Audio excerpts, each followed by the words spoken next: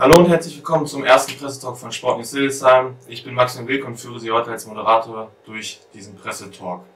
Zur heutigen Ausgabe habe ich zwei Spieler des Regionalligisten VV Busenelix Hildesheim zu Gast, mit denen ich über das bevorstehende Trainingslager auf Mallorca sprechen werde. Zu Gast sind zum einen auf der rechten Seite Yannick Schulze, der 22-jährige Mittelfeldspieler, und auf meiner linken Seite Benedikt Plaschke, der 28-jährige Angreifer. Jungs, vielen Dank, dass ihr da seid. Freut mich sehr, dass wir über das Trainingslager ein bisschen sprechen können.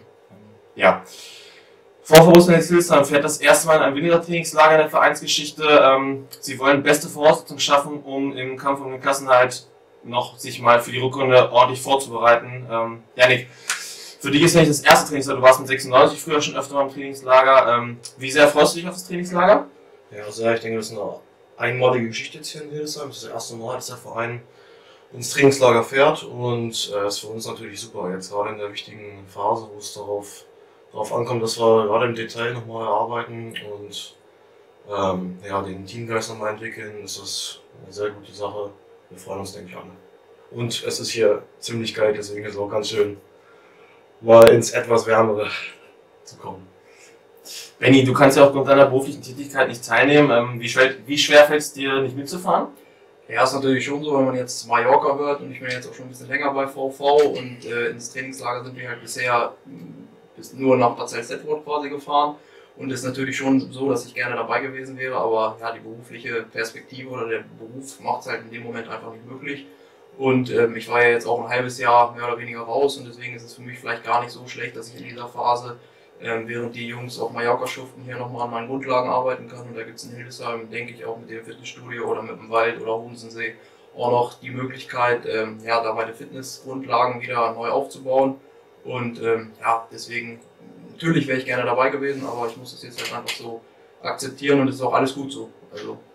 Du sprichst es schon an, ähm, wie sieht deine Woche genau aus hier denn ohne Mannschaftstraining, jetzt ohne offizielles Mannschaftstraining? Ja, also wir haben ja den Philipp Champignon, mit dem ich auch jetzt äh, ja, seit November eigentlich relativ intensiv schon wieder daran arbeite, auch langsam an die Mannschaft zurückgeführt zu werden und der hat mir auf jeden Fall einen Plan aufgestellt, der viel Fitness, viel im läuferischen Bereich ähm, ja auch ja, beinhaltet und ähm, ich werde viel auf dem Fahrrad sitzen, ich werde Intervalltraining machen, ich werde Krafttraining machen und ähm, ja, so dass eigentlich ja, die Woche, in der die Jungs in Mallorca arbeiten, ich hier auch genügend zu tun habe und dann hoffentlich auf dem Fitnessstand dann auch wieder hier bin, dass, dass ich auf etwa gleichem Level bin.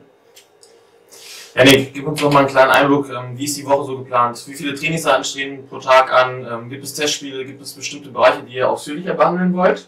Ja, also der Plan ist, glaube ich, so, dass wir sehr früh anfangen. Ich glaube, 6.30 Uhr geht's los mit dem Lauf. Ähm, jeden Tag. Und dann stehen, glaube ich, gegen Ende der Woche zwei Testspiele äh, auf dem Plan. Ich weiß nicht, eins ist, glaube ich, sicher, das zweite ist noch nicht ganz sicher. Und ähm, ja, ansonsten werden wir uns sicherlich auch einen Tag nehmen, wo wir ähm, im Teambuilding dann irgendwie äh, was machen, ob wir am Strand irgendwie eine Olympiade machen oder durch Palma gehen, ist noch nicht ganz klar. Aber irgendwie werden wir da auch noch arbeiten. Und ja, dann, was ich schon gesagt habe, im Detail arbeiten. Ne? Also offensiv Abläufe reinkriegen, defensiv nochmal mit der Kette arbeiten. Und ja, dass wir da halt dann gut drauf vorbereitet sind. Gerade offensiv sind wir ja äh, in der Hinserie noch nicht so erfolgreich gewesen, da werden wir sicherlich dran arbeiten. Was erhoffst du dir persönlich von dem Trainingslager? Ich meine, das ist ja nicht das erste. Du kennst ja schon ungefähr so ein bisschen die Abläufe, wie es früher bei 96 auch war. Ähm, was glaubst du, wird es dir selbst auch bringen? Klar, nochmal auf den, äh, das Fitnesslevel nochmal so anzuschauen, dass man ähm, jetzt in den äh, restlichen Spielen dann auch keine Probleme hat. Ne? Also wir haben jetzt knapp zweieinhalb Wochen, glaube ich, bis zum ersten Spiel. Und da ist es nochmal wichtig, jetzt aufs Limit zu kommen, an die 100% zu kommen, dass wir ohne Verletzung, ohne Krankheit am besten dann die Rückserie durchkommen. Und da ist es dann persönlich wichtig. Und es ist natürlich schön, mal eine Woche mit den Jungs zu verbringen. Ähm, weil normalerweise wir treffen uns abends. Da ist dann der Tag über quasi, da bringt jeder, wie er arbeitet oder studiert, was auch immer. Und so verbringt man jetzt mal eine Woche zusammen. Hilft sicherlich auch, was das Team angeht. Benni, die, Rückrunde, äh, die Hinrunde war sehr zerrend für euch. Wie groß ist die Überzeugung, dass ihr in der Rückrunde noch den Klassenhalt schaffen könnt? Ja, also ich denke, dass der Verein auch mit dem Trainingslager da ein ganz klares Zeichen setzt und ähm, dass wir natürlich mit aller Macht versuchen wollen, die Regionalliga für Hildesheim zu halten, weil man sieht äh, in der ersten Regionalliga-Saison, auch in der letzten Saison, und jetzt auch teilweise in der Hinrunde, dass die Stadt, glaube ich, auch für die Regionalliga bereit ist. Wir haben ähm, im Verhältnis zu anderen Vereinen trotz der durchwachsenen Leistung, sage ich jetzt mal, gerade in Heimspielen schon einen großen Zuschauerzulauf. Und ähm, ich bin voll davon überzeugt, dass wenn wir äh, in unseren Rhythmus kommen und ähm, ja auch mal dieses Erfolgserlebnis haben, vielleicht ein Spiel zu gewinnen oder mal ein Heimspiel zu gewinnen, souverän zu gewinnen, dass wir dann auch in der Lage sind, die Regionalliga zu halten, zumal die Gegner, die unten sind, ja jetzt auch noch nicht so weit weg sind. Und ähm, ja, deswegen habe ich da volle Überzeugung auch, äh, dass wir das auf jeden Fall schaffen können. Du warst jetzt ja auch schon lange raus. Ähm, wie ist dein aktueller Stand? Wann kannst du der Mannschaft wieder helfen? Wann rechnest du damit, dass du die ersten Einsatzzeiten bekommst? Ja, wie gesagt, also ähm, ich habe ja jetzt seit November arbeite ich mit unserem Fitnesscoach kontinuierlich an meiner Fitness. Ähm, gestern hatten wir ja auch ein Freundschaftsspiel in Suling, wo ich das erste Mal auch wieder gespielt habe. Klar ist es jetzt für mich äh, nicht ganz optimal, dass ich von den ganzen Abläufen, im taktischen und so weiter nicht mit ins Trainingslager fahren kann, aber ich hatte ja auch schon gesagt, dass ich im konditionellen Bereich noch was aufzuholen habe. Aber ich denke, dass ich dann an, nach der oder in der Woche, wenn die Jungs aus dem Trainingslager zurück sind, auch ganz normal mit der Mannschaft voll trainieren kann, so wie ich es jetzt die letzte Woche auch schon getan habe.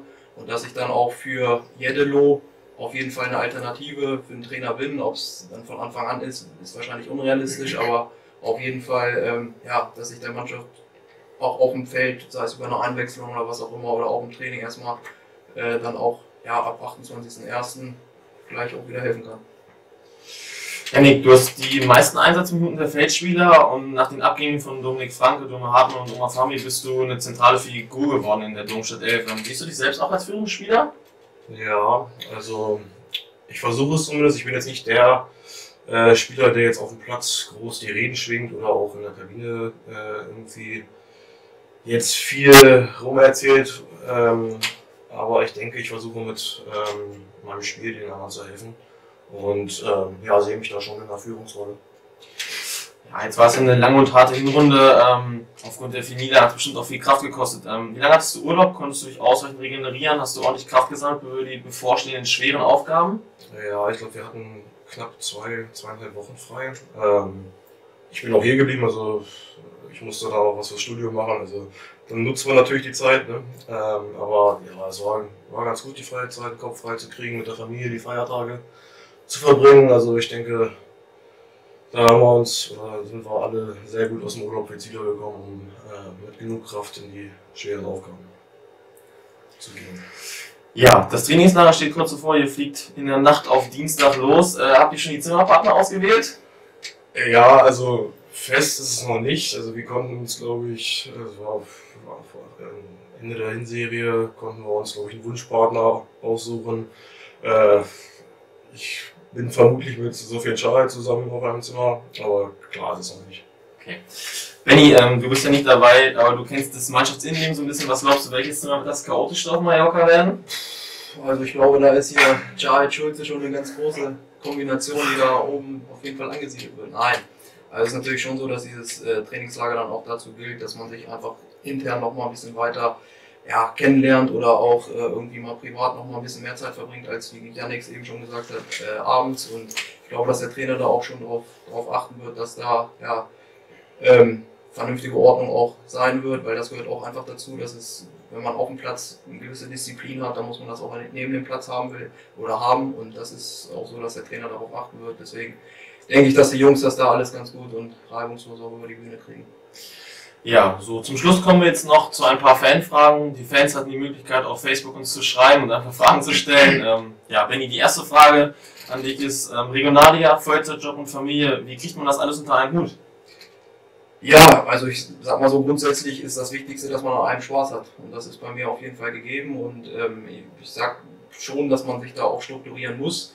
Ähm, aber ja, der Sport gehört auch einfach zu meinem Leben dazu. Und mir fehlt es einfach auch, wenn ich abends äh, oder wenn ich einen Tag über keinen Sport mache, habe ich jetzt gerade im letzten halben Jahr auch gemerkt, dass ich da auch so ein bisschen unausgelassen dann bin. Deswegen ähm, finde ich das auch immer eine gute Option, eine gute Möglichkeit, abends nochmal eine Stunde auf dem Trainingsplatz zu stehen, Kopf frei zu kriegen, ja, frische Luft nochmal zu haben und das ist halt einfach so eine Sache, die dazugehört und man muss sich schon strukturieren, damit man das alles unter einen Hut bekommt, aber ähm, es ist jetzt nicht so, dass, äh, ja, dass das nicht machbar wäre. Und ähm, wie gesagt, Sport gehört für mich dazu und ich sehe das jetzt nicht als Belastung an, sondern äh, als Freude und als Spaß. Und ich glaube, dann funktioniert das auch ganz gut.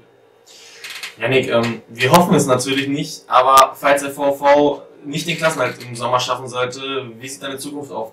Bleibst du der Domstadt 11 erhalten oder gibt es da eine Veränderung? Möchten die Fans gerne wissen. Ähm, ja, also wirklich Gedanken drüber habe ich gerade nicht drüber gemacht, weil ich ähm, eher mir doch äh, sicher bin oder ein gutes Gefühl habe, dass wir drin bleiben in der Liga. Ähm, Sommer muss man dann sehen. Also kann ich nicht viel zu sagen, weiß ich noch nicht. Äh, jetzt gilt es erstmal, sich auf jetzt zu konzentrieren und da haben wir, denke ich, einiges vor. Benni, die Frage kommt vom Kultbetreuer des SVS. Besteht die Möglichkeit, dich nochmal im Trikot deines Heimatvereins spielen zu sehen, möglicherweise sogar als Spielertrainer? Ja, Grüße erstmal an Frank, ähm, auch für die Frage. Klar habe ich nach, Hild oder nach Schellert eine besondere Beziehung und habe auch einige Freunde, die dort in der ersten spielen. Ähm, und weiß ich nicht, ich will jetzt nichts ausschließen, aber wie Yannick eben schon gesagt hat, es zählt jetzt für uns einfach, dass wir eine vernünftige Rückrunde spielen, dass wir vor vorne Regionalliga halten und äh, mit allem anderen beschäftige ich mich zurzeit einfach überhaupt gar nicht. Aber Schellerten ist natürlich auch, meine Familie ist da zu Hause, ist für mich immer ein Anlaufpunkt und wer weiß, was die Zeit so bringt. Yannick, ein Fan möchte noch wissen von dir, hast du ein bestimmtes Ritual vor jedem Fußballspiel?